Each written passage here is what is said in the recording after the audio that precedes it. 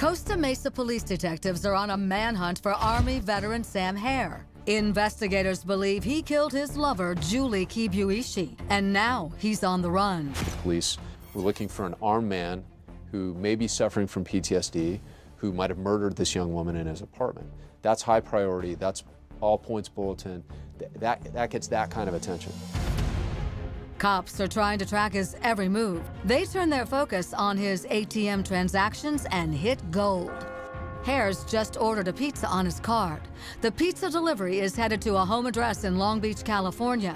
Now stationed outside Herr's house, SWAT teams prepare to take down a violent and mentally deranged combat veteran. But when they knock on the door, a shocker. This 16 year old boy's name was uh, Wesley Freilich. Hardly an armed and dangerous fugitive. It's a pimple-faced teenager who's scared to death. Wesley Freilich is immediately ruled out as a suspect in the murder of Julie Kibuishi. In fact, Wesley doesn't even know Sam Herr, but he does know this man, Daniel Wozniak. Told us that Dan Wozniak had given him the credit card, and he had just been there a couple hours earlier, and uh, he had picked up $400. But who is Daniel Wozniak, and what's his connection to Sam Herr? Danny Wozniak was a community theater actor. He lived here in Costa Mesa, right across from uh, Orange Coast College. He was engaged. He had a hard time holding a job. He's a young guy. He's in various plays.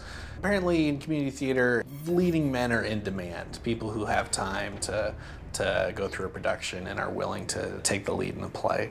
Um, so that's what he spent most of his time doing. As seen here in outtakes for an upcoming play. Hi, my name is Dan Wozniak. I'll be playing the role of John Davis in Orange Cat. okay, take it again. He really loved doing these plays. He didn't want to work. He kept getting fired from job after job, and he wanted to uh, maintain this lifestyle where he's got you know, pretty young fiance. They're about to get married. Daniel's fiance is his acting partner, Rachel Buffett. Their wedding is less than 48 hours away. By all accounts, he's living the high life. In fact, he was at his bachelor party in Huntington Beach. But his world was about to come tumbling down. Homicide detectives break up the party with an arrest warrant. One team went in the front entrance. Uh, myself and uh, Sergeant Keith Davis went in the rear so no one could flee the restaurant. We went into kind of a private party room, opened the curtain, and Dan Wozniak and several of his friends were in this room. Lieutenant Ed Everett finally lays eyes on the elusive Daniel Wozniak. I immediately looked at Dan Wozniak. He made eye contact with me, uh, and he immediately turned white. You could see the blood kind of draining from his face. I knew at that point uh, there was more to him than he either knew where Sam was, was at, uh, he was hiding Sam, helped Sam flee, or he had more involvement in this than he was letting on. Cops haul Wozniak in, and back at the Costa Mesa Police Headquarters, Daniel denies any involvement in Julie's murder.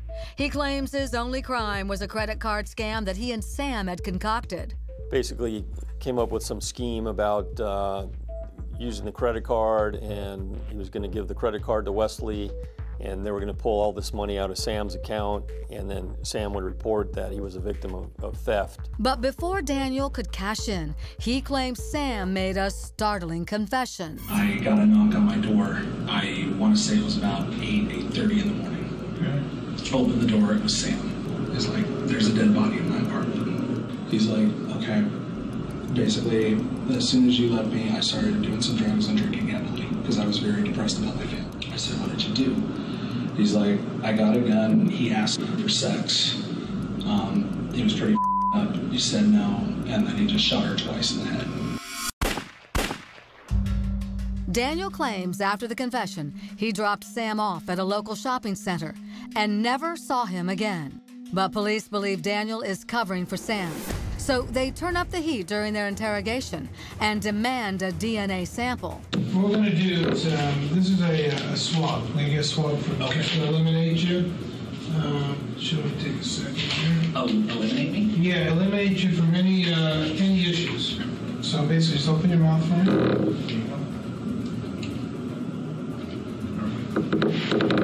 That's it. Oh, Very okay. Well. Basically, you know, where it is just an elimination process, you know. Once the DNA is collected, Daniel's memory starts to sharpen. At that point, he became uh, visibly nervous, and that's when he started to add more details to the story and change, make some changes. Now, I was in Sam's apartment Friday afternoon, Okay. and I know I did use the bathroom. You did use the bathroom? I used the bathroom, um, and I went. I'm not sure if I went out on the patio or not. Most of the time I do, but that day I don't know if I did or not. Okay, okay. Detectives are starting to get the impression that Daniel is worried his DNA will show up in Sam's apartment. But why? I think you know a little more about this thing than you're, you're divulging to us. No, I don't. I think there's a little, a whole lot There, more. there may be, but please question me and uh, any gaps that I, I want to fill. Absolutely. As far as your participation in this thing. As far as my participation. Yeah.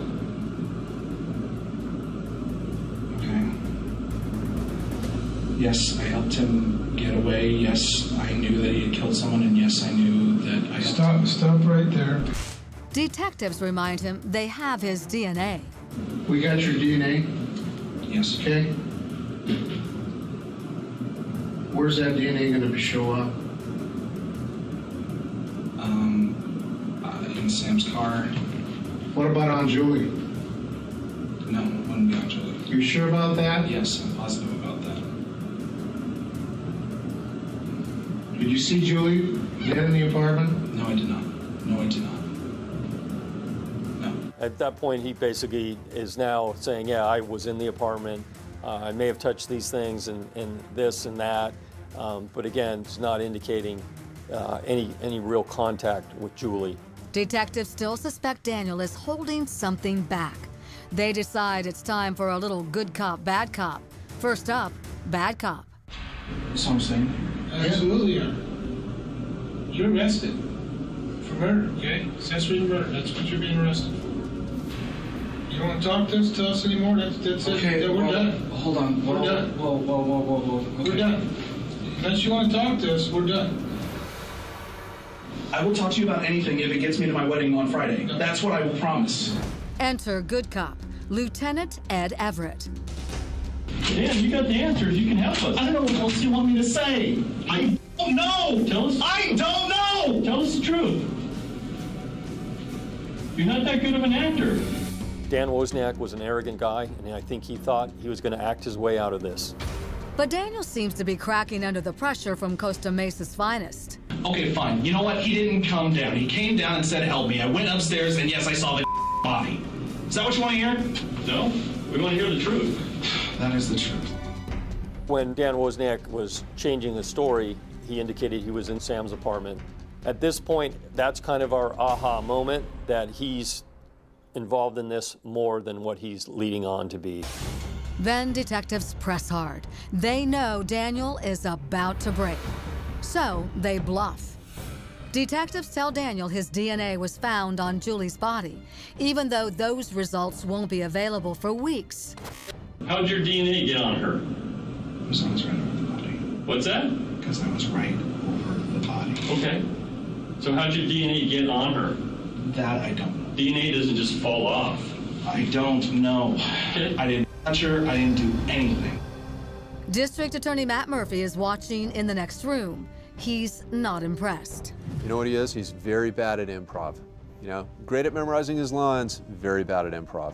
And these detectives are all about putting somebody to it, putting them on their heels, and seeing if the story adds up. Then, detectives move in for the kill. What did you see?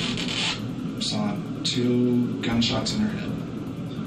And I saw her pants, like, ripped and cut. And I saw, like, you written on the back of the shirt. Where were the two bullet wounds? I don't know. Sam said he shot her twice. Okay. And But you I just, saw- I you saw- just- I didn't see- You just told us you saw two bullet wounds. You were No, standing no, over. no, no, no, okay. Whoa, whoa, whoa, Okay. Stop. Okay. How did your DNA get on? I was standing over the body. I saw two bullet wounds to her head. Exactly what you said, Dan. You can't even keep your lies straight. So when Wozniak um, basically told us he was in the apartment and saw two bullet wounds to Julie's head, I, I knew at that point he was lying. There's no second take for this actor. Daniel can't keep his line straight, and his script has just been flipped by his own admission.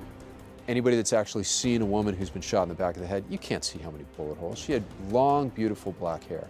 You can't see how many bullet holes. And that immediately, that is the moment that the investigation turned because those, those detectives who were there, who saw her, they know that you couldn't see two bullet holes. Next, a key piece of evidence that leaves cops with only two possible scenarios. At that point, he either was the shooter or he was present when Julie was shot. But they have no idea what they're about to find.